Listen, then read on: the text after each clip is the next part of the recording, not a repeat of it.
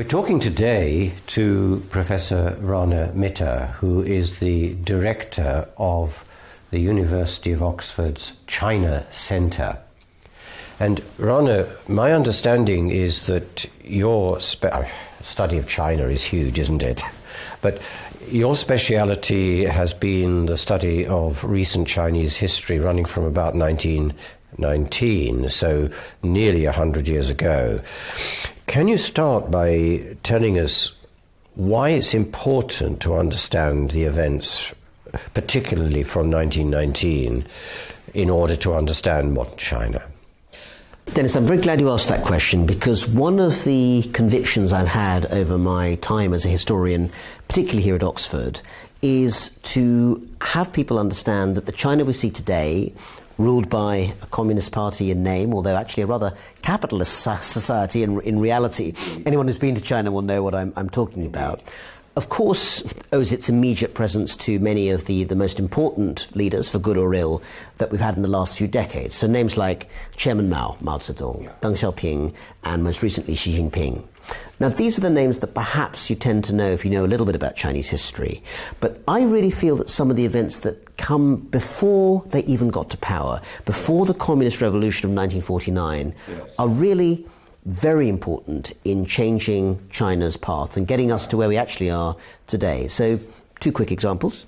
1919, you mentioned. That's the year that everyone in China who's had even a high school education will know about, and almost no one in the West has ever heard of, because it was the year of something called the May 4th movement. Yeah. May 4th, 1919 a moment when students, young students, demonstrated in, in the center of Beijing against what they saw as the weakness of their own government. And as part of that, they helped to form a wider movement which became both a cultural and a political renaissance, you might say, in, in China. Now, the Chinese Communist Party was part of that, but it wasn't just them, it was also a whole variety of artists, writers, and others who came from that. So that 1919 moment is, in a sense, one of a kind of earlier cultural revolution, not in Chairman Mao's sense, but I think in a more genuine flowering. Uh, uh, yes.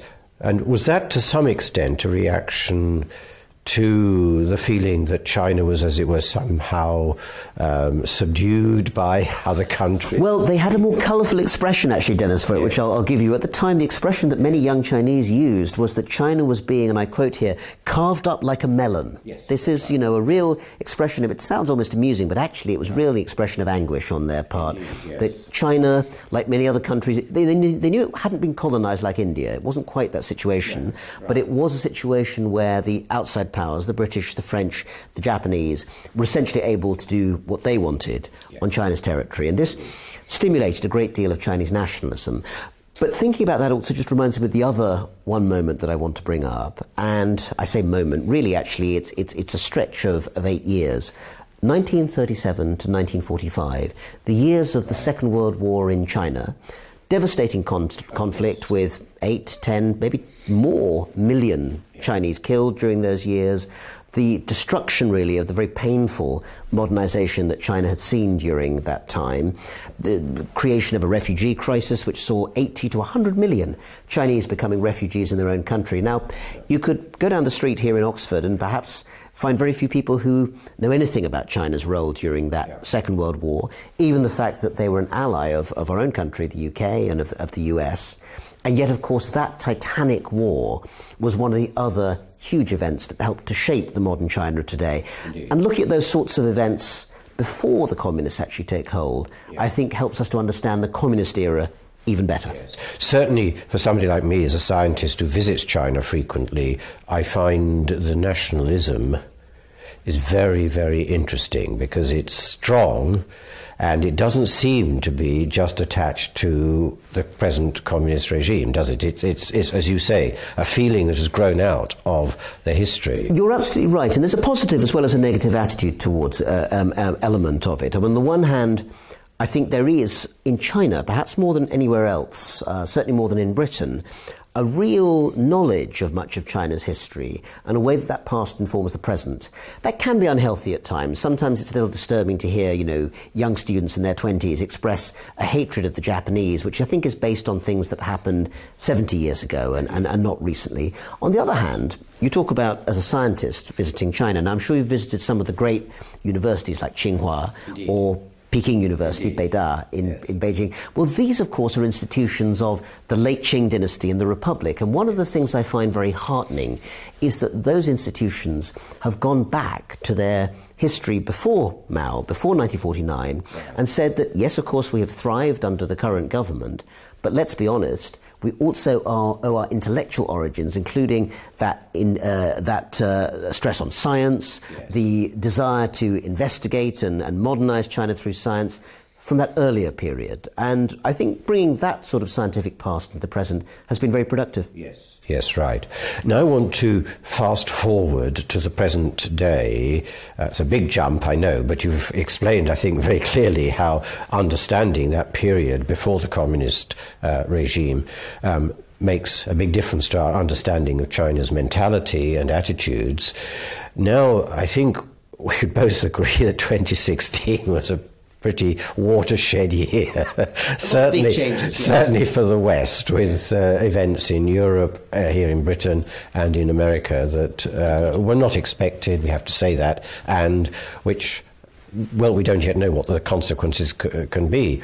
But this leaves a lot of people, and I think a lot of people watching this program um, will be interested in the following question.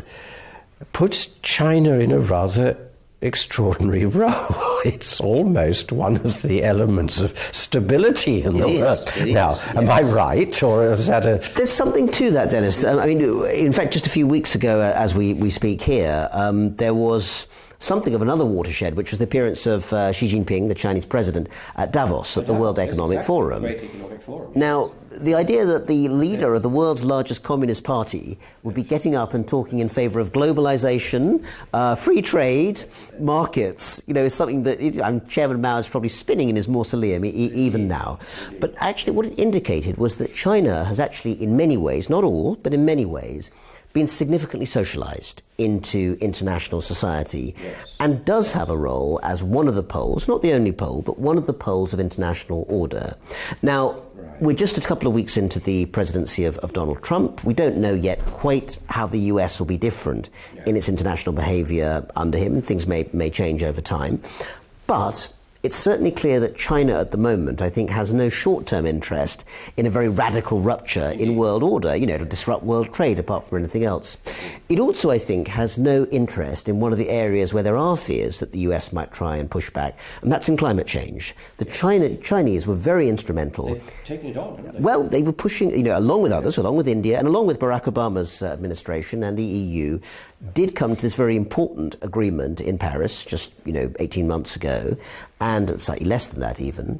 Um, if, if it appears that the United States is going to try and pull out of that unilaterally, I wouldn't be at all surprised to see that China actually ends up with the EU, with India, with Japan, with other countries actually saying, well, look, in, on this, it's America that's the outlier, and actually China's in the mainstream. In addition to wondering about the relationship that China's going to have to the new situation is developing in Europe and in the United States, there's also the question of the knock on effects in relation to some very unstable situations in Korea and Japan. How do you see um, China's relation to the other countries in East Asia, with which, of course, it's got to form good relations, and given a, a history that has been pretty terrible?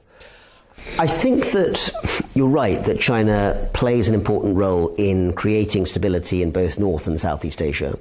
I would also say that I think China's at what you might call a sort of pivot point of its own at the moment, because its behaviour at the moment pushes in two different directions. One of them could be extraordinarily productive for the reason uh, for the region.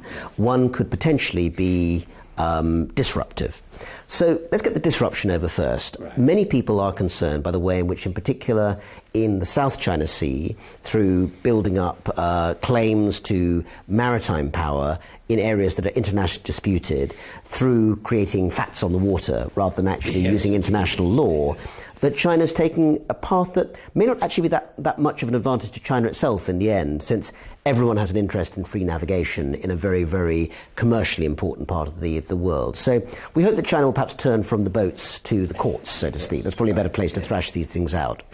And it would be advised to do so because actually one of its other stated aspirations is to create a whole area of economic integration, not just in Asia, but into Central Asia and even as far as Europe, the so called Mar- um, One Belt, One Road policy, the New Silk Road, New Silk Maritime yes. Silk Road.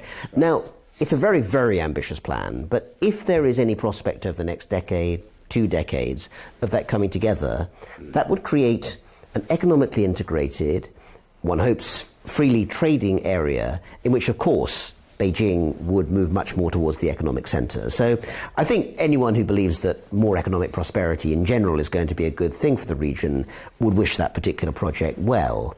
And it's a question of which direction China will turn, because I don't think these two policies are compatible with each other. You need to have trust with the neighbors, a feeling that the neighbors understand your agenda, that it's transparent, and they're willing to support it. And I think the economic one is going to be much more productive for China than the military in the long term.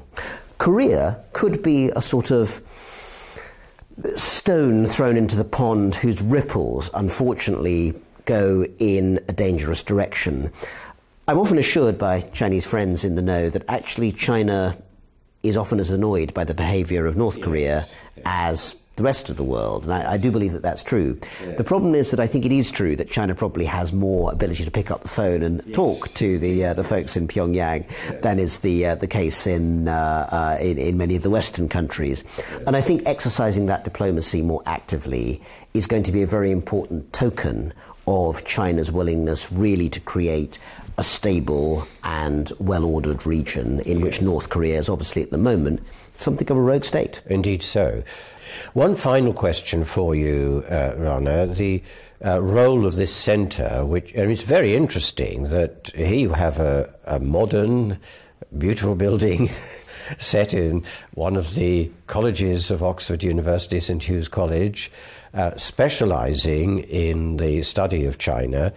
What do you think its role is looking forward? I think it's a very good question, actually, Denis. I mean, you're right that we have a very wide range and also a great deal of depth here. But I think we all actually have one very central idea that drives us, which is that we want to make the centre, which is the biggest single centre for the study of China anywhere in Europe and one of the biggest in the world. I mean, it has, as well as the wonderful building, which we encourage people to come and see if they're in Oxford, um, but something like 45 permanent staff, academic staff, faculty um, affiliated to it, either physically here or, or very close by. Um, and we want to use the teaching and research that they do, which of course is at a very, very high level of quality, not only to continue to produce the finest scholarship on China, and when we say China, we don't just mean modern China, we do everything from ancient yes, philosophy to very contemporary social science, but also to do even more to bring that to the attention of a wider public and private sphere as well. We would like to know that when people who are involved in policy making or perhaps involved in thinking through China's sort of wider place in the world or in business, all of these sorts of areas, that we maybe have something to tell them that they couldn't get simply from, you know, reading uh, a magazine or uh, uh perhaps even talking to business people who visited, however distinguished they may be. There's a, there's a depth of knowledge here because of the amount of time and depth of experience we have with China that we think actually is quite hard to match. And it's that distinctiveness that I hope that the centre will bring out.